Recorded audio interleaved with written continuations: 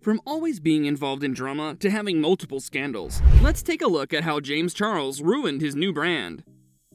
Delaying the launch. Before the pandemic struck, there was a lot of drama going on in the beauty world, with the likes of James Charles and Jeffree Star being at the center of the drama. However, during the drama, a lot of people really dove into their passion for makeup and started making a career out of it, with salespeople becoming beauty influencers and becoming trendsetters in the cosmetics world. However, on the other hand, there was also a huge chunk of people who stopped using makeup entirely, since everyone was staying at home during the pandemic, and there was little to no need for doing makeup at all, and thus makeup sales really started taking a hit. As a result, the beauty industry was facing a decline, and there were few new products that were being launched. Post pandemic, major cosmetics companies, including Morphe, started shutting down, and other major cosmetics companies like Forma ended up filing for bankruptcy. Naturally, there's no surprise that it's not really the ideal time for launching a new cosmetics brand, but James Charles did not get the message. He had his entire makeup brand's launch lined up, and what was supposed to be a holiday launch ended up being a spring 2023 launch.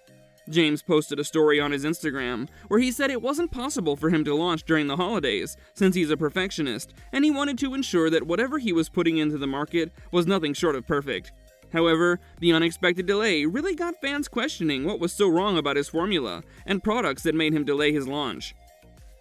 But before we get into more details about how James Charles ruined his new brand, if you're liking our content so far, make sure to give this video a thumbs up. Make sure you subscribe to our channel and turn on the notification button so you can get notified every time we post a new video, and that way you can stay updated about your favorite celebrities and all the drama that goes on in their lives, and how your favorite makeup gurus tend to walk all over their career just for the sake of drama. Being dropped by Morphe Remember when Jaclyn Hill talked about her dreams of launching her own brand, and she ended up collaborating with Forma Cosmetics? Well, a lot of people have a hunch that James Charles also wanted to do the same thing, instead of being in full control of his brand, but with all the drama that he had surrounded himself with, he ended up getting dropped by Morphe. So we can say this for sure that even if James Charles made attempts to try and sign a deal with Morphe for his brand, we're sure Morphe turned him down, considering their own financial status and their past experience of working with James Charles. Well, we guess James Charles is left entirely on his own if he wants to launch his own brand, and will not be getting any help from any of the big giants in the cosmetics industry. Auditions Naturally, when launching an entirely new brand, you also have to ensure that you're doing a pretty solid marketing of your products, and this is exactly what James Charles had in mind. He went on his social media and posted a video saying that he was looking for 10 makeup enthusiasts whom he could fly over to LA for the launch of his brand. James Charles then went ahead and mentioned that people would have to post a video of their best makeup look, and mentioned a few hashtags that they would have to use when posting the video. However, a few days later, when he went live on his TikTok account and mentioned further details about the contest, and that people could only apply if they were above 18 years old, since he had to fly them over. He also went ahead and mentioned a few other rules regarding who could apply for the contest. At this point, a lot of people had already posted videos, and James Charles had naturally gotten a lot of publicity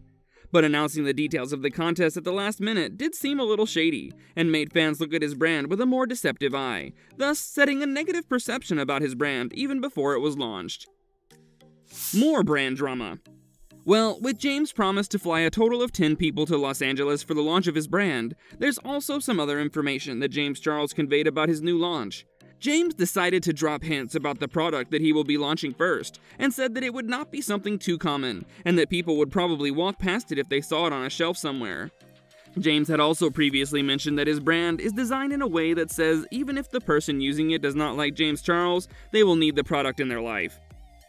However, considering all the hype that James Charles has created around his brand, and how much he's promising to deliver, there's a high chance that if he ends up putting forward a product that's too conventional, fans will just see that he's making an empty promise, and this probably will ruin expectations that people attach with James Charles' brand in the future.